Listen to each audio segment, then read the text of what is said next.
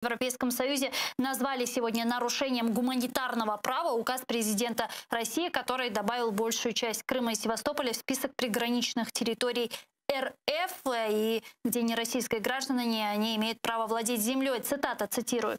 Поэтому Европейский Союз не признает этот указ и считает его вступление в силу очередной попыткой принудительной интеграции незаконно аннексированного полуострова в Россию. Крым входит в состав Украины. Указ также является нарушением международного гуманитарного права, поскольку это еще один шаг на пути к введению российского гражданства на полуострове. Он привел к произвольному лишению собственности. Конец цитаты. Что мы можем делать с этим заявлением и на что он влияет?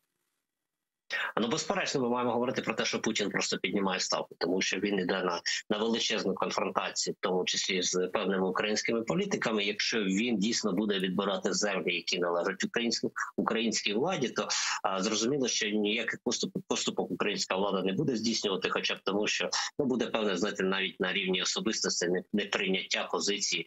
А щодо а, ну я не, не буду оцінювати з точки зору а, політичних, да ну щодо персональних позицій, наприклад, коли коли людини забирають землю, зрозуміло, що вона ні на які поступки йти не, не буде йти. Тому мені здається, що це за великим рахунком, що це така гра з боку Путіна, де він буде дотискувати тих людей, які мають, хоча б якийсь вплив на українські політичні процеси, з метою певних поступок для Кремля.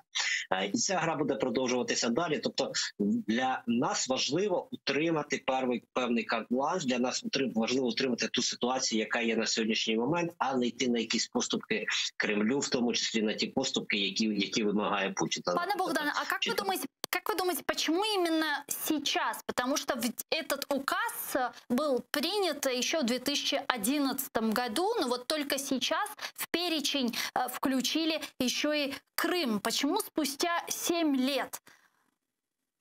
А ну розмова розумієте, розмова про те, що таке такі події будуть відбуватися уже давно. Тривали в російському інформаційному просторі, і ми маємо розуміти, що ці розмови, якщо я не помиляюся, вже рік ішов саме про Крим і, і про вилучення земель в е, українських громадян. Uh -huh. А в тому числі іноземних громадян, як вони вважають, а вилучення земель, і це я розцінюю, як знаєте, такий довготривалий тиск. Тобто, а, ч, е, от він же ж не сказав, що ми сьогодні будемо відбирати землю. Тобто вони ставлять певний ліміт часу, з протягом якого на людину буде тиснути сам факт того, що там у неї відберуть землю. Тобто, це психологічно, тобто це певна інформаційно-психологічна операція з боку Кремля для того, щоб а тиснути на тих українців, які перебувають в в Україні і мають вплив на нашу владу, і для того, щоб насамперед дотиснути тих кримчан, які на сьогоднішній момент ще не повністю чи ще не перейшли в російське громадянство. Тобто, а... оці дві два основних моменти, як на мене, відіграють на сьогоднішній роль.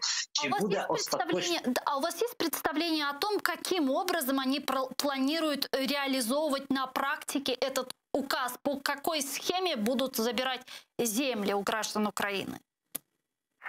Ви знаєте, е, я думаю, що для Російської Федерації для для країни, де право це фактично інструмент влади, а не влада інструмент права. Це для цього проблем взагалі не виникатиме, якщо постане питання. Бо я ось нещодавно дуже рідко дивлюся російський сюжет, а це нещодавно подивився. Там розповідали про фермерів, в яких позабирали землю в Криму. А тому, що а, вони її там купили, чи то по українським законам, чи що, чи чи посилаючись навіть на українські закони, і цю землю відбирали. Тобто для Росії не важливо теж там право чи не право, вона спирається на нього. Да, тобто говорить, що є певна підтасовка права. Тобто, якщо постане необхідність вилучати землю. Вона цю землю буде вилучати, і їй буде глибоко знаєте, індиферентно на те, що відбувається в світі, на ці там умовно кажучи, прояви з боку європейського союзу, якщо це будуть лише слова.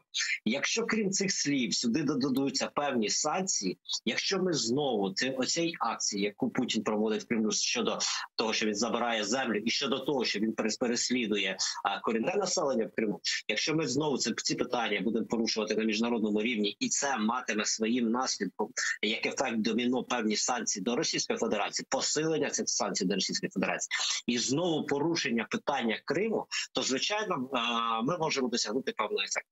І отут ви знаєте, я не хочу боюся, хочу не погодитися з представниками української влади, які тут перед переді мною був, який а, говорив е, про те, що давайте дочекаємося а, кримської платформи, да, і тоді ми будемо на кримській платформі порушувати це питання. Ну давайте будемо відверто до кримської платформи ще півроку, і ці за ці півроку можна дуже багато чого зробити, в тому числі порушувати ці питання на, на зовнішній сфері. Тобто постійно ми маємо в, в зовнішній сфері тримати Крим. І тут мені здається, що Путін допустив величезні помилки, які в тому, що він нам дав черговий поштовх для того, щоб ми знову порушили це питання на міжнародній арені, і щоб ми знову тримали в Крим як е, одні з головних. Е, Питань в порядку денному як світової спільноти, так і України, тому що з самого початку інформаційна політика Кремля побудовувалася на тому, щоб витіснити взагалі Крим з інформаційного простору, в тому, щоб е, про Крим забули, а потім вже будь- будь-що буде. Тобто, спочатку забувається, а потім, нібито, ми маємо від нього відмовитися. І тут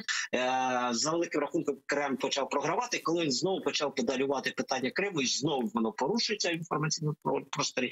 І знову ми починаємо говорити про необхідність, точніше, ми повинні починати говорити про необхідність посилення санкцій, про е, певне застосування певних дій.